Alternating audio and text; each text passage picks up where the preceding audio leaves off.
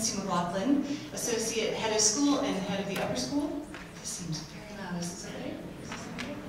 Um, thank you so much for joining us this evening. This idea for doing this tonight actually grew out of um, a number of good questions last year. I had the opportunity when I was new last year to meet with a number of um, families, particularly families that were going from 8 to 9.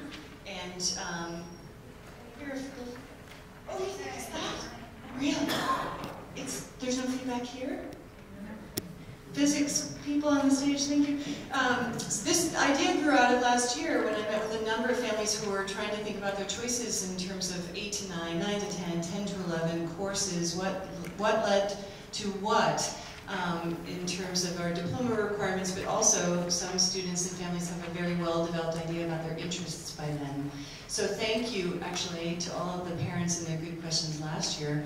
And this is what informed the creation of the visual materials that we distributed as you entered the theater tonight, and our idea that we would get all of us together in one room, so you at least know who the resources are in the building for your questions as you continue on in your time here at Greenhills. Whenever I attend these parent events myself in my own parenting life, I always learn from other people's good questions inevitably I also end up feeling a little anxious because somebody's worried about something that I'm not worried about. And then I'm worried, I'm worried about the wrong things. They had good questions and it didn't even occur to me to worry about nothing. Um, and I hope that that doesn't happen tonight. And in fact, what we do is reassure you a little bit and maybe even liberate you a little bit from some of your worries and questions and concerns about your students' choices through school. Alison Gopnik wrote a book a few years ago on parenting in modern America, and the title of the book was Gardeners and Carpenters. Carpenters, those of us that are parenting style carpenter, like to build a cabinet from a set of plans, and we imagine that if we make the right choices, that we might develop a certain type of adult that has a certain kind of outcome. Gardeners like to place their child in a nourishing, nurturing ecosystem and then just trust that your child will thrive regardless of the individual choices that they make and whatever their outcome becomes. I'm sure for most of us, we have features of both of those parenting styles. And one of the things that I really love about Greenhills is I think that we make a lot of room for all of those parenting styles and student styles. So whether you're a gardener or a carpenter or a little bit of both, I hope you find what you need tonight. And I'm going to hand this all over, I think, to Dr. Dino Smith, our Dean of Academics. And I'll see you in the dining hall in 25 minutes. Thank you, Quincy. Good evening, everyone. Uh, my name is Dino Smith. Uh, I'm the Dean of Academics here at Greenhills, uh, but a number of you know me. Uh, having had my past year, I had the, the great benefit of having been the dean or uh, class principal of the 11th grade for a period of 10 years uh, prior to coming into the dean of academics role. Uh, and that gave me a great opportunity to see the progression through the high school, and in particular, to take, you know, be very closely associated with juniors as they go through that, you know, intense period of, of their, you know, growth and development. The, the entire process is about growing and developing, and um, I think that we are here to help the students through it, of course, that's one of the reasons that, that we're at Greenhills, that you're at Greenhills, because we have an entire team of people working on that.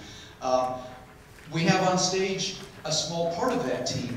And uh, I'd like to um, have us introduce ourselves before we move into the program. Um, in the school, as you know, we have uh, great deans at every grade level working with your, your children, with stu our students. Uh, and they work with a team of advisors who also are looking after your student as well as their teachers. Uh, we also have uh, a college counseling department, and our college counseling department, uh, we've represented us here on stage, uh, we're going to talk a little bit about uh, the college counseling perspective as we go through the course of the evening. Uh, and we also have our chair of the math department because we have a lot of questions about math that we want to address. Thanks, Dino. My name is Betsy Ellsworth. I'm the Director of College Counseling here at Greenhills. And I come from 10 years of admission experience at Reed College a little liberal arts and science college in Portland, Oregon, where Steve Jobs went to school, at least for a minute and a half. Um, and I have um, twin sons who are seniors. Um, so anybody who's asking me about my Christmas break, I say I have twin sons who are seniors. Um, so, Josh? Good evening, everybody. Uh, my name is Josh Chester. I am the Associate Director of College Counseling at Greenhills. This is my third year here. Uh, before this, in a previous life, I experienced much more pleasant winters in North Carolina, uh, where I worked at Duke University in the admissions office, and I got tired of being a gatekeeper and making 9 out of 10 every 9 out of 10 people I interacted with unhappy. So I decided to come to this side of things and actually help them. Good evening, everyone. My name is Jonathan Schwartz. This is my 10th year at Greenhills. I started as a sixth grade English teacher. This is my seventh year in the head of middle school role. And I'm here tonight, actually, as part of my coming role. I'm in the, I'm in the process of transitioning from being your friendly neighborhood head of middle school to your friendly neighborhood college counselor. And tonight I will be serving in the college counselor role. Hello, I'm Susan Beamish, the head of the Math and Computer Science Department. I've been teaching middle and upper school math classes, a whole variety, for 17 years, and this is my sixth year here at Greenhills. Thanks all.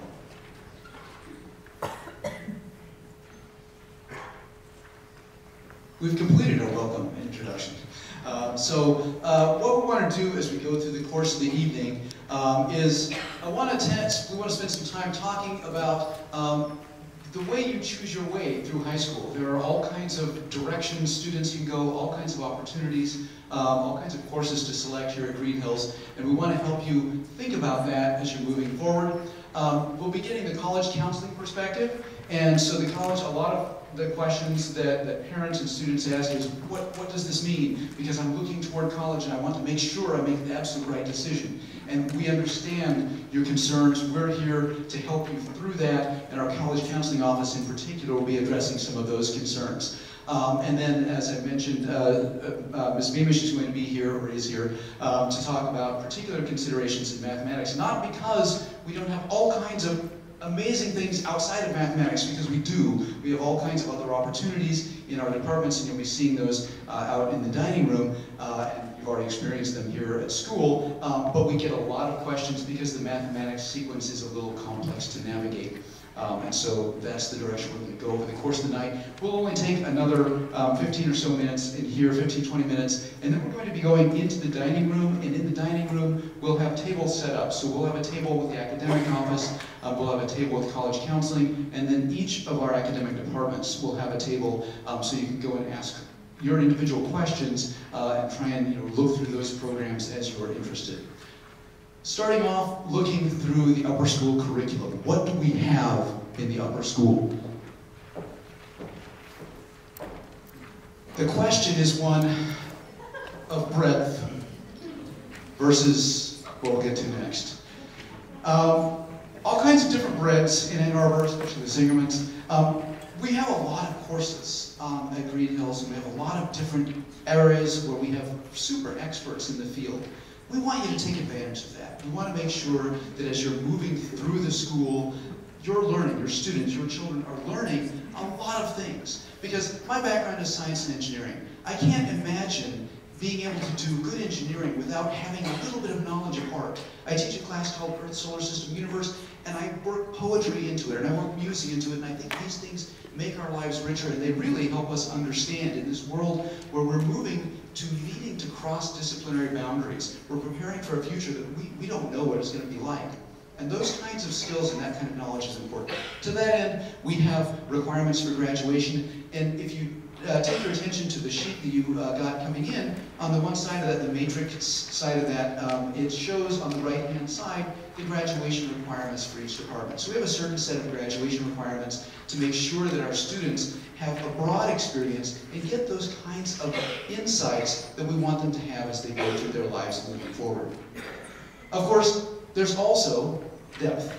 And in my life, uh, former life as a nuclear submarine officer, I appreciate depth.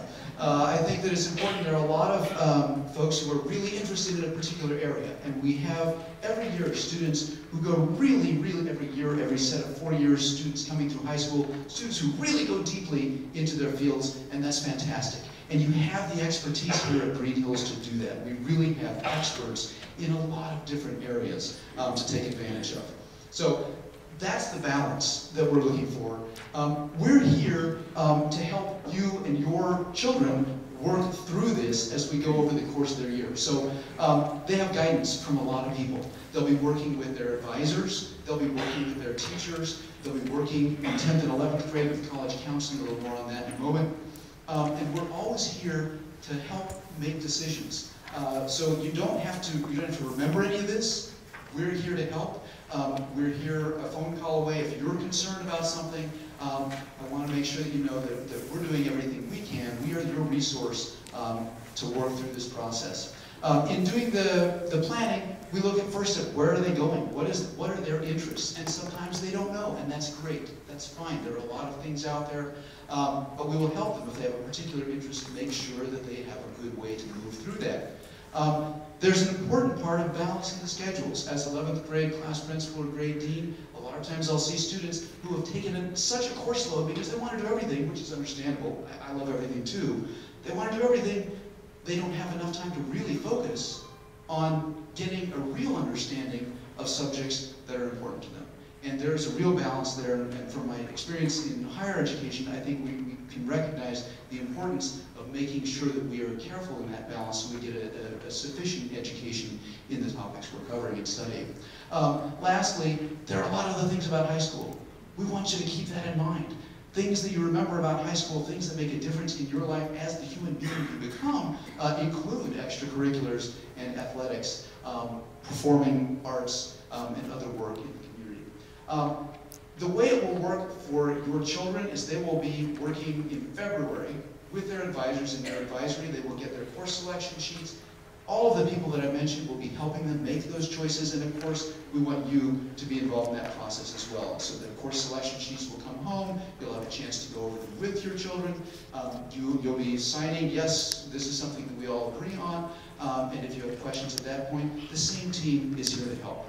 Um, typical schedule for the ninth grade, so I know that eighth grade parents moving this transition is especially um, uh, not challenging necessarily, but it's, it's a big step. It's an exciting step. Um, and so a typical ninth grade schedule, gives some choices, but we give them a lot of guidance. So we'll have a biology class. They'll have a class we call Global Perspectives in History and Literature. You notice that's two class periods. B period meets the same time on one day that F period meets the other day. So it's two classes um, but they're together to give them an integrated and more rich experience. Um, they'll have a program called FRESH. FRESH is our program that helps ninth graders, new, new to the school or coming from our eighth grade. Ninth graders coming in have a lot of big steps, both socially and academically. High school is a different environment, they're not used to it, um, and so we help them in the FRESH program to navigate that. It also gives them supervised study time so that we can also help them learn to do good things and to make valuable use of their, of their time at school.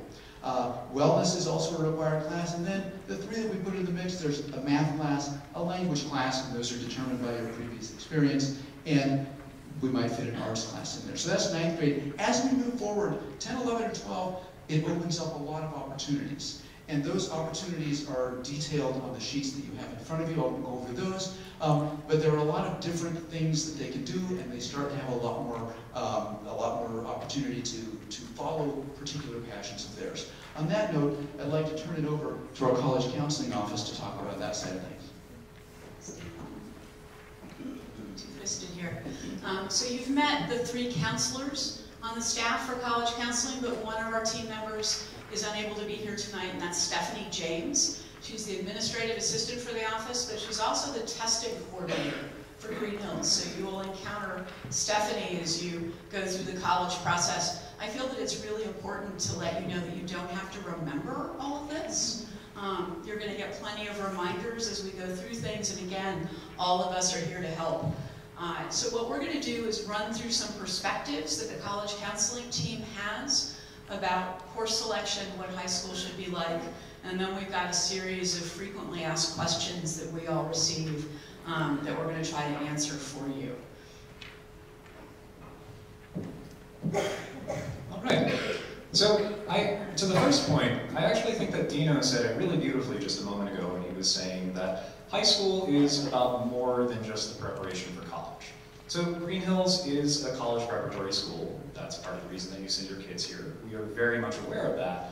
But at the same time, if students end up being so focused on college that that is all that they get out of their high school experience, then they miss out on so much enrichment, whether that is just the pleasure of learning in their classes, whether that is devoting time to their friends, or whether that is the opportunity to explore their interests outside of class with extracurricular activities. So our philosophy is that high school is going to be more than just that college preparation experience. Because what we don't want to happen is for those people to, you know, you set your sights on one college or set of colleges and then say it doesn't work out. You know, we don't want you to look back on that high school experience. We don't want students to look back on that they were wasting their time because that's just absolutely not true. It's four years of a student's life, and we want them to fully appreciate that and fully live that. So, of course, once it comes time to talk about college, all of us in the College Counseling Office are here to support you and help you, and there will be a point along the way where you are going to have to start planning for college. And a lot of people ask me, is there a time that is too early to start planning for college? And the answer to that is yes, and I can give you an example. So when I was working in admissions, um, one of the times that I was preparing for a campus information session and had to welcome people to campus, um, I was standing in the lobby and this woman walked in with a four-year-old in tow. You can see where this is going. And I said, oh, hi, are you, is, are you here with a sibling? And the mother smiles and goes, oh no, this, is, this is the one who's here for the presentation. You can never, you can never start learning about college too early. And I said, yes, you can. So uh, whether you are four or whether you are actually 14, there is time that is too early to be thinking about college. And so for most our ninth graders, we think that ninth grade is not really the best time to start talking about college. So ninth grade is a time to adjust to the high school experience. It is a time to get used to the new academic expectations of the upper school. It is a time to get used to the new social conditions of the upper school as well, which is why we don't focus on college. We don't really talk about it, think about it, um, until starting in 10th grade. Betsy will talk more about that.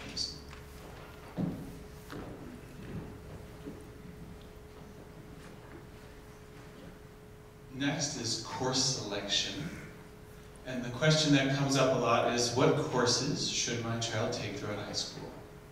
And the answer is, your child should take courses that fit with his or her interests and ability level. Ascertaining interests is sometimes a more complicated one. Ability level comes through the lens of their own experience, your experience of their experience and through conversations they have with their teachers and department chairs and so on. And those conversations are ones we're so happy to have as you move forward. I thought I'd mention a word about interest through a hopefully illustrative example. I have two children. Um, the elder now is in elementary school and he wants to be a pediatrician when he grows up, just like his favorite grandparent. And the younger wants to be the Incredible Hulk just like his favorite uh, radiation exposed scientist turned superhero.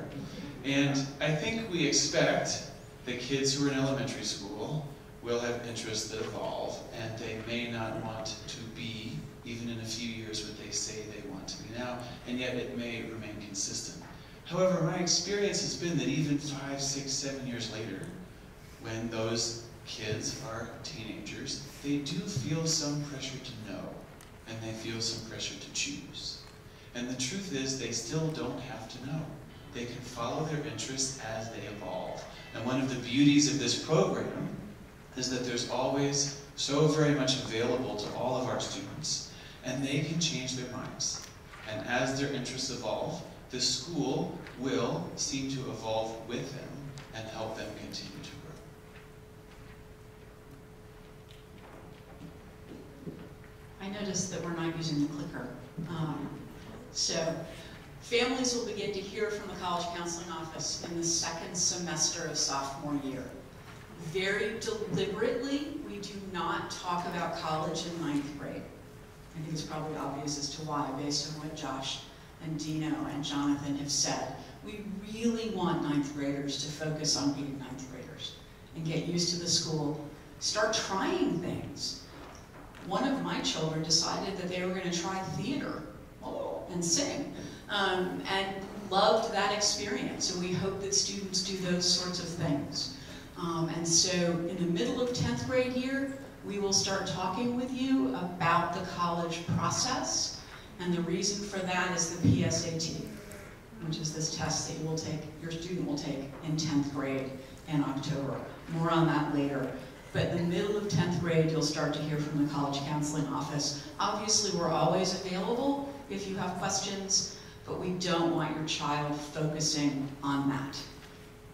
Now I'll use the clicker. All right, so now we get to some of what we think, what we get as frequently asked questions. All right. Now the clicker actually has a purpose. So, um, one of the most common questions that I would get when I was working in admissions was, should I get an A in a regular course or a B in an AP course? And similarly, how many APs do I need to take to get into a certain college? And I would want to challenge those questions and the premises of those questions because I don't think they're necessarily asking the right things. Um, because the answer is going to be different for absolutely everybody. And really what we want to emphasize is that students should focus on, as Jonathan talked about, finding the appropriate level of challenge in an area of interest. Um, and so colleges also don't have a checklist where they sit there and go, hmm, you got, you know, if you only had five APs, then that would have been the thing that would have got you in, but you only had four. That, it, I can remember basically no time sitting in an admissions committee that that conversation happened. Now, it is important for students who are interested in a particular area to explore their interests, to deepen those, and to challenge themselves appropriately. Um, it is more appropriate for students to take more rigor in the area that they are interested in specifically, but there isn't some sort of magical formula where you can, you know, take the number of APs that you've gotten, multiply by your GPA, divide by your SAT score, and figure out where you're going to go to college. It just doesn't work that way.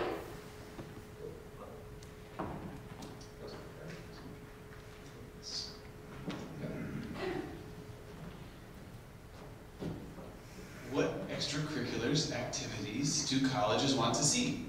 They want to see the ones that your children are interested in, is the short answer. And in general, colleges value depth over breadth. Really deep dives into things that they love. That said, that can also lead some students to think that they have to pick something and stick with it, and that's also just not the case. Here, there's also room for kids to evolve and to change their interests, to change their minds, and explore the things they love. Our hope is that middle school, upper school, and college are all steps along the path toward a fulfilling life. And one way to ensure that that can happen is to pick things that they enjoy and dive into them at this moment, on this day, at this time, in this year. And the way to do that is to use their interests as their guide. If they do that, they will naturally have a set of curriculum, extracurricular activities that they enjoy and that are good to report to colleges.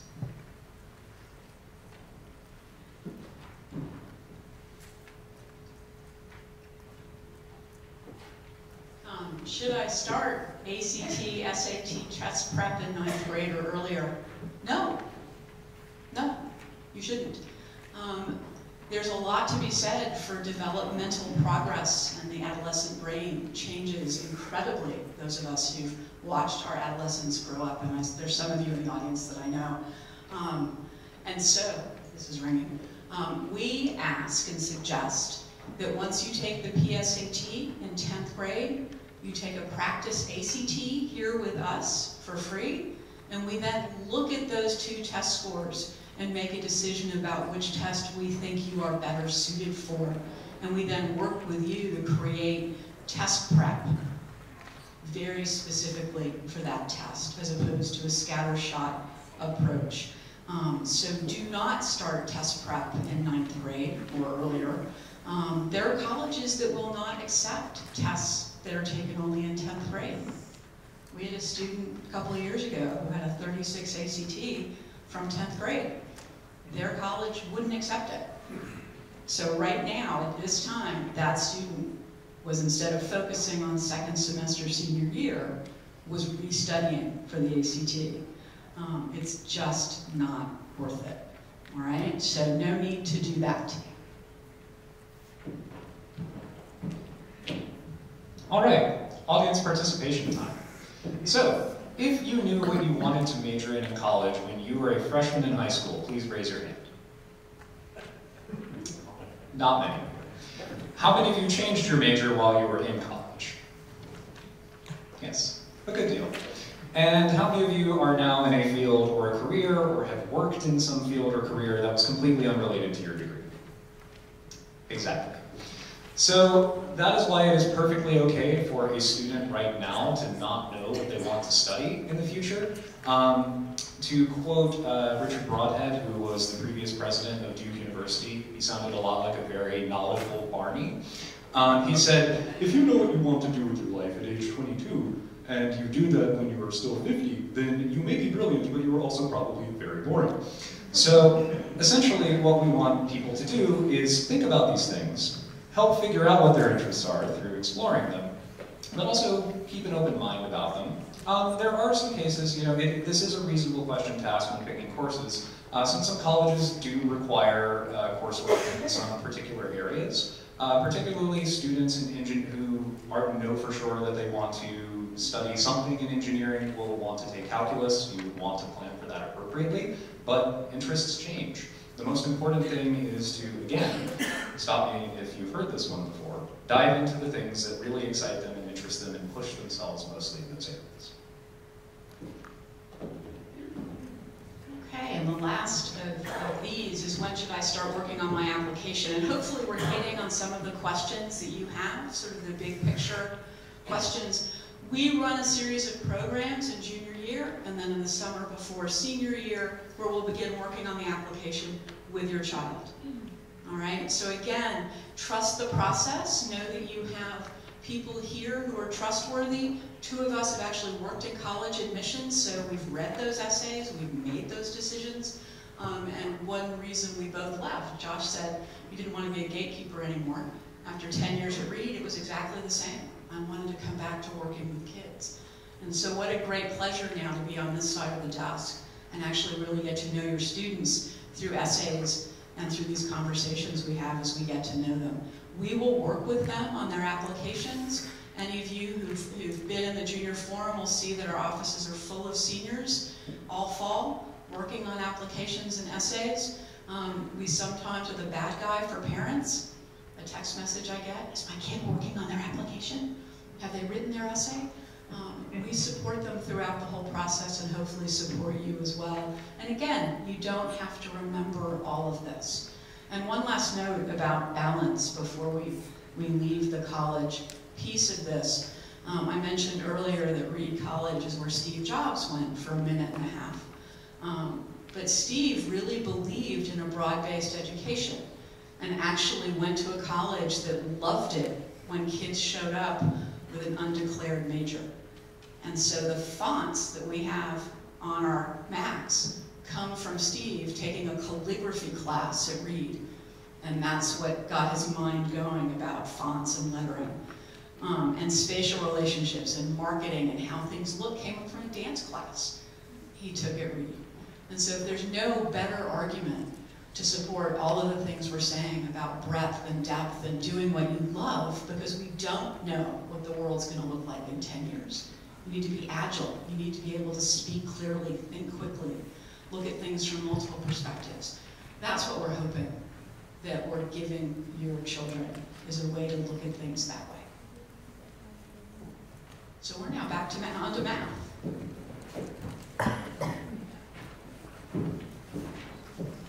So we know that many of the questions that parents and students have about course selection revolve around math, and so I'm here just to give you a brief overview of the requirements and the choices that we offer and have in the math department. So generally, students take the path that you can see up on the screen, but our requirements are that all students at Greenhills take Algebra 1 Geometry and Algebra 2 in the building sequentially during school years. Um, Where they start